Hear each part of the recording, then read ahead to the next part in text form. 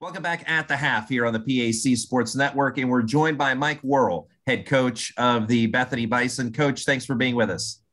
Thanks for having me, Randy. Appreciate it.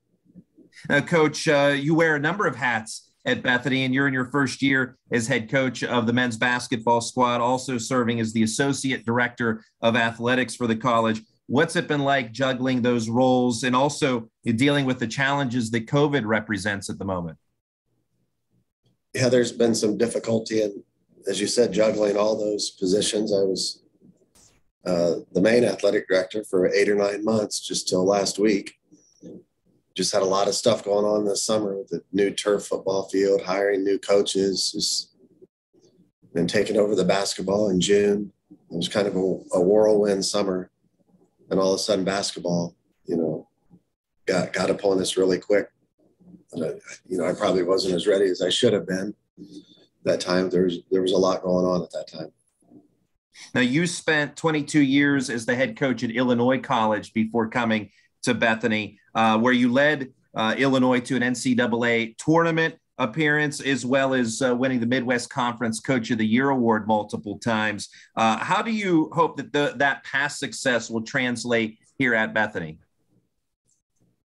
I'm not sure if it equates to, to anything here, Randy. It's kind of a start from scratch here right now. So I didn't do any coaching for two years when I came here and helped out some last year. Back into a full time again this year, but you know, it's just a matter of putting the right pieces together and it's it's going to take some time. It's not going to happen overnight here, that's for sure. Now, as far as the coaching staff, your son Lucas is an associate head coach for the team. Uh, how much fun has it been to be able to coach alongside your son?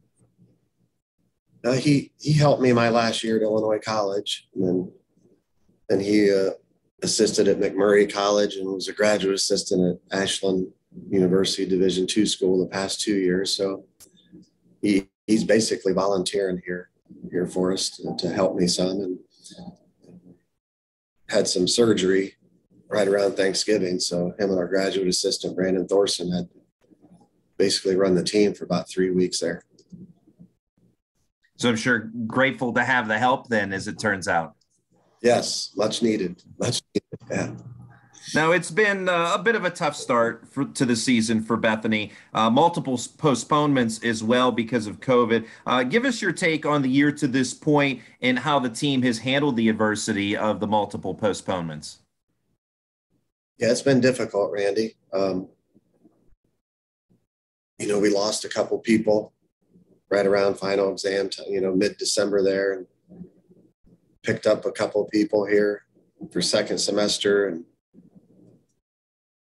once we got our new additions, we really now we're just into playing games. There's not really much time to practice, and with all the makeup games and the, every school in the country is having to do, we're not getting much practice time. It's just playing games. And we've shown signs at times that we could be competitive, but we just have not been consistently defensively. And, and you know, we'll put it together in spurts. We just got to somehow one of these nights put a 40, 40 minute game together and see what happens, give ourselves a chance.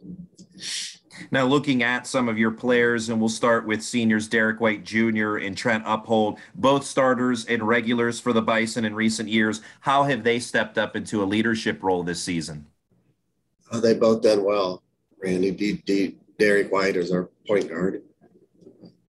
He's been a four-year player. Trent Uphold has been injured off and on the last couple years. Maybe only played a couple games last year, and he's had some ankle problems. And even missed a week this year. Um, but those two guys we rely on for, for, like you said, a lot of leadership for us.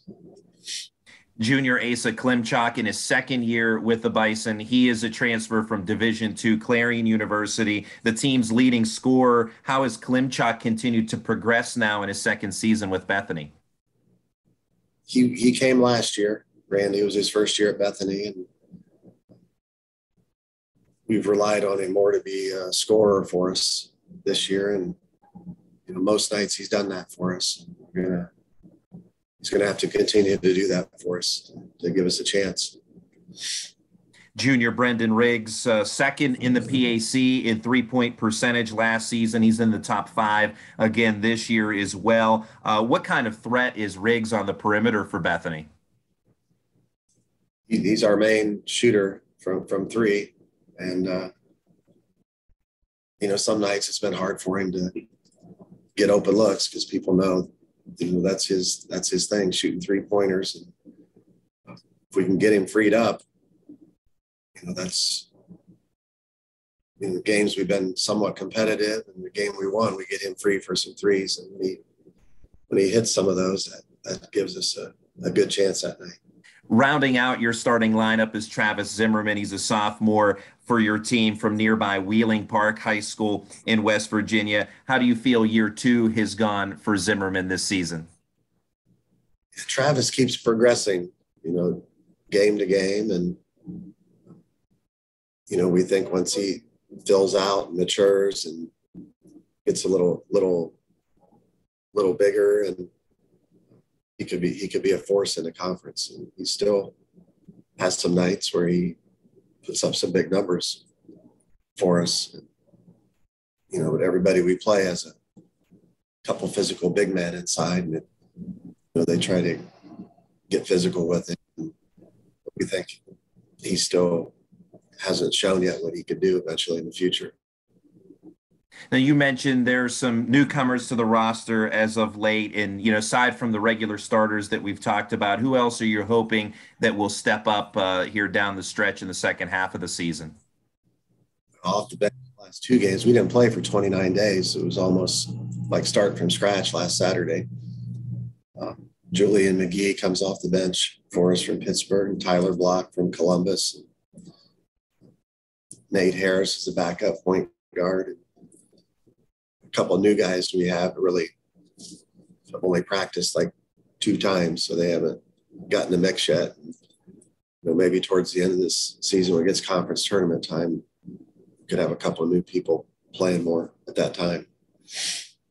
Now we're at the half of today's game is the Bethany Bison hosting Franciscan University. And earlier this season, Bethany picked up a 103 to 100 victory over Franciscan. Uh, the Barons, as we said, today's opponent. Give us your thoughts on today's matchup and uh, you know what your hopes are as far as your team. Uh, how, how do you need to replicate what you did the last time around to pick up another victory? Well, they press a lot. It's an up tempo game with Franciscan. They take a lot of threes and they, they trap a lot on defense, force a lot of turnovers, and we're to have to limit our turnovers against them for sure. We, we had a lot that first game, kind of held on for dear life at the end to, to win that game, but they have a couple really good guards and Zimmerman, who's a really good, I call him a power forward point guard because he brings the ball up a lot. He's very good for that. Gets a lot of rebounds and he's you know, gets them a lot of shots. He's a good driver. And they have a, you know, some good shooters. And we're going to have to defend the three and be ready for press offense and not turn the ball over as much. That's Coach Mike Worrell of the Bethany Bison. Coach, thanks for your time today and uh, good luck in the second half and the rest of the season as well. Thank you, Randy. Appreciate it. We'll have the second half of today's game when we come back in just a moment.